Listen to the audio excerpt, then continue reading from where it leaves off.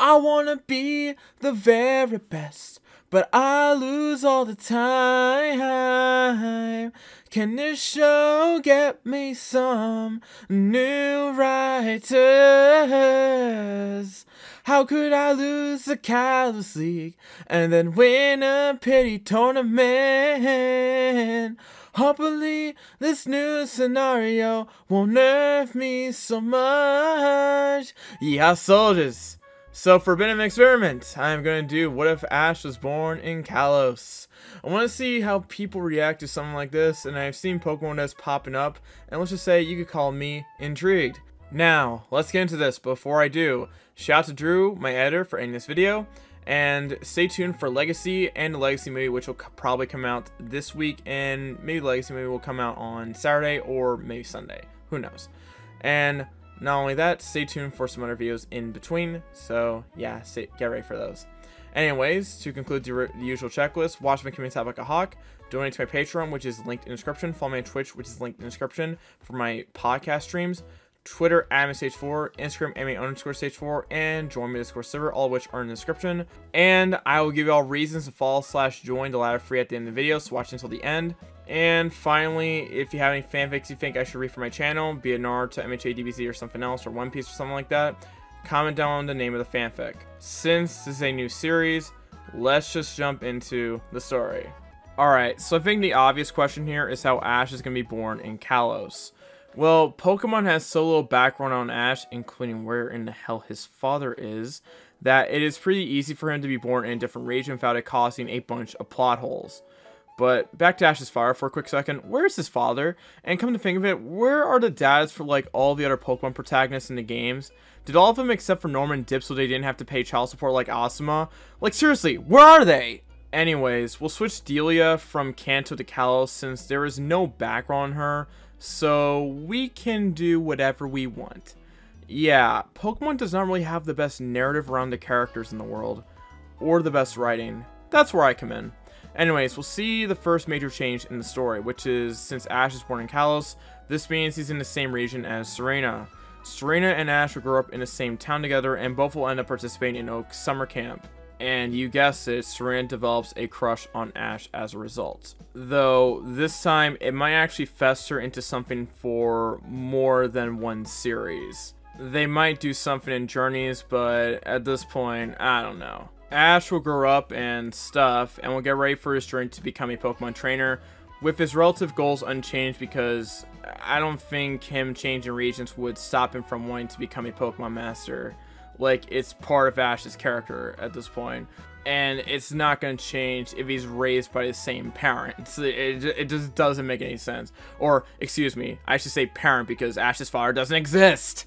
Anyways, I am going to make this clear. I am not going to give Ash a Pikachu as his starter.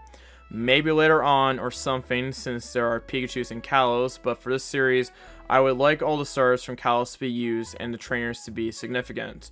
What I mean by this is when Ash and Gary began their journeys in the original series, they were the only trainers earning gym badges as the other two Pallet Town trainers straight up quit.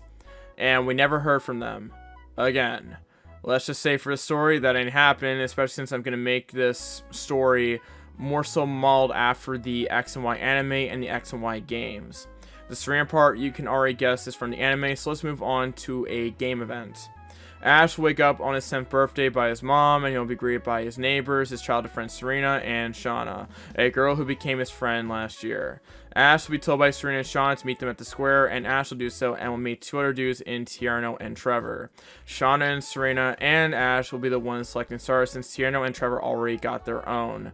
Ash will let the ladies select their stars, what a gentleman, and Serena will select Fennekin while Shauna will select Chespin. This is fine, as Ash will select the star he won all along, which is Froakie. You all knew this was coming. You all knew this was 100% coming. Froakie evolves into Greninja, which is Ash's most iconic Pokemon ever, especially with the Ash Greninja form. Speaking of Ash Greninja, stay tuned for that. Anyways, Ash will pack up, say goodbye to his mom, and we'll head out on the road and we'll be joined by Serena as she fights a blushing storm in order to ask Ash if she can join him on this journey, which Ash is like, sure, why not? Alright, time for our question of the day. What is your favorite Pokemon game? Let me know in the comments below. For me, it is Black and White 2. Oh yeah, I also want to make this a little bit clear here. I'm probably going to have Serena still stuck on her path to becoming a Pokemon Showcase trainer, I guess. But I think that's fine because Serena honestly was pretty cool in those arcs. And honestly, I'd rather have her be that than a rival because the and Y games Serena slash Calem were literally the worst rivals in Pokemon history, while as a companion and potential love interest, Serena was probably a pretty good character in my opinion, but that's just me. So I would probably rather have her in this type of role here, especially since I can develop chemistry between these two characters as the story continues on. And I think a lot of you will agree that I made the right decision. Anyways, Ash encounters his first Pokemon in the Kalos region, and it is a Fletchling. Yes, we are continuing the trend of Ash getting every single early bird Pokemon, but then again, Talonflame is a pretty great Pokemon. And Ash will actually succeed in catching the Fletchling for two reasons. One, his star actually listens to him, which was not the case with Pikachu before the Spearow incident. And two, he has a companion that is going to be like, yo, Shouldn't you try to catch that Pokemon? And Ash will snap out of his arrogance when he beats that Fletchling and ends up catching it in a Pokeball. It does pay to have people traveling with you, just saying. So yeah, Ash's journey is off to a great start. Now, one more thing I want to say real quick. I will be using the entire Kalos Dex. Not just Kalos Pokemon, but Pokemon that are in the Kalos Dex in the X and Y games. Meaning, Ash has access to like 450 Pokemon minus legendaries because it'd be very, very weird to give Ash legendaries in this part of the story. Ash and Serena will head into the forest, meet up with Shauna and Nagain. All of them will go through the forest together and it's kind of forgettable as I don't think there is a Pokemon that fits Ash at this point except Pikachu. And I would prefer to save Ash getting Pikachu if he goes to a region like Kanto in the story. Oh yeah, and also Pikachu has a 6% encounter rate in Santalune Forest. So it would be very hard for him to catch one in the first place. There is a Pokemon that does fit Serena though, and it is Scatterbug, which Serena finds to be very cute. And after some struggles, she is able to catch it. I really, really like Vivillon for Serena, especially for what she does in the canon story, the Pokemon showcases. And while you could say it is not the strongest Pokemon out there, I mean, that's not what we're aiming for Serena. We're aiming for someone who's pretty great at Pokemon showcases, so it doesn't really matter. And while you could argue that Serena wouldn't catch a Pokemon at this point, considering the amount of Pokemon she had on her by the end of the series, Remember, Ash is her, and with Ash's encouragement and him catching his first Pokemon, Serena can believe she can capture Pokemon too. The crush motivation can be corny sometimes, but it definitely, definitely works. Anyways, Route 3 comes along and goes as nothing significant happens there, and Ash will head to Santalune City. Ash will head to the Pokemon Center to heal up his Pokemon, and while he is at it, he will register for the Kalos League, and Ash will learn there's a gym in the city, and Ash will decide to challenge the gym. He'll face off against the gym leader Viola, and the battle will begin. Viola sends out Surskit, and Ash will send out Froakie. The battle will begin. Now here I had to make a decision of whether I would give Viola her anime moveset or her game moveset. For her Surskit, I decided to settle on a mix, which means this Surskit will have Ice Beam, Signal Beam, Quick Attack, Bubble Beam, and Protect. As this Pokemon was shown to know 5 freaking moves in the anime. At this point, Ash's Froakie has Bubble, Quick Attack, Pound, and Growl. The battle will begin and Ash will launch a Bubble Attack and Viola will use Protect. And then Ash will then tell his Pokemon to use Quick Attack, which Viola will call her Surskit to use the same move as well, and both Pokemon are even.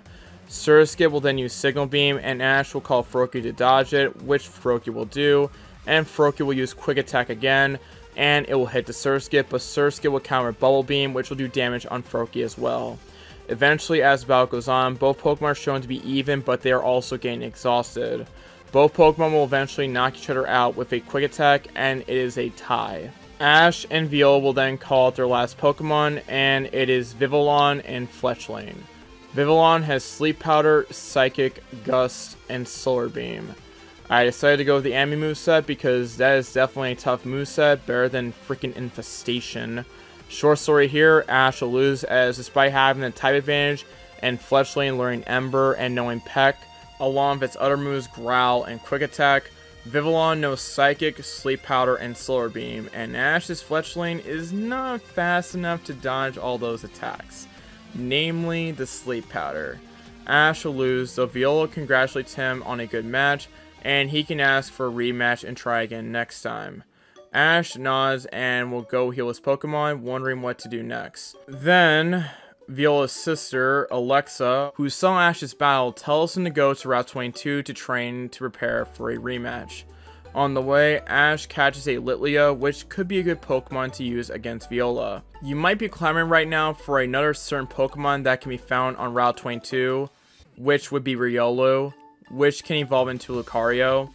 And I say, ah ah ah ah ah, not yet.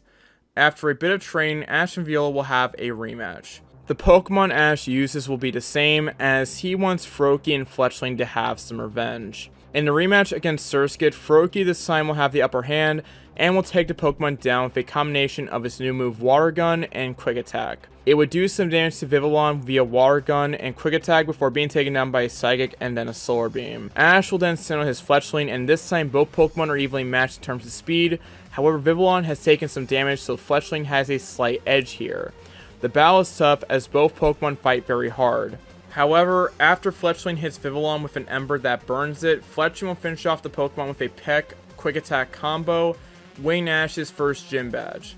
Ash is pretty happy and Serena hugs Ash in celebration and Ash will feel something as a result of that hug. But because our boy is incredibly dense, he does not know what that feeling is. Alexa will tell Ash to head to Grant City for his next gym badge, which is convenient as Ash gets a holographic call from Professor Sycamore to head to Lumiose City to meet with him, which is on the way to Grand City. Ash and Serena will comply, and they'll head to Lumiose City, and what will happen next? Find out in next part, though I will leave one question here before I head to the outro. What gender do you want Litleo to be? because it has different forms when it's either male or female. Let me know in the comments below. Thank you all for watching part 1 of What If Ash Was Born in Kalos. I do like Pokemon What Ifs, and these are kind of making me want to go back to write my fanfic, which I should have finished chapter 4 a long time ago, but things happen sometimes. Anyway, stay tuned for Legacy and whatever videos come out this week and stay tuned for a lot of other content on the way, as well as a 50k sub special, which should be pretty good. And if you're having fanfics I should read, again, tell me the name of the fanfic. Watch my community tab like a hawk, that's important. And finally, follow me on Twitter for another way to get notified of my videos, as well as interact with me on my most active platform. Instagram for memes and just memes, but maybe the occasional answer to the DM and finally join my Discord server for access to my community. These are all great ways for you guys to track me, so again, follow me on all of my social media platforms. Shout out to my $10 patrons, names on screen, and my $50 patron Anguish, and my $30 patron Gabe Tidwell. If you want to support me and get rewards to shoutouts like these, go to my Patreon, which is linked in the description. Support is as low as $1 per month. Let's get to 60k, then 70k, then 80k, then 90k, then 100k. And that is all I have to say. Make sure to like, comment, subscribe, turn notifications, and share the video. This has been your boy, the Anime Sage. Sign out, peace, your ha. Sunny Shakles is out. Bye bye. Peace.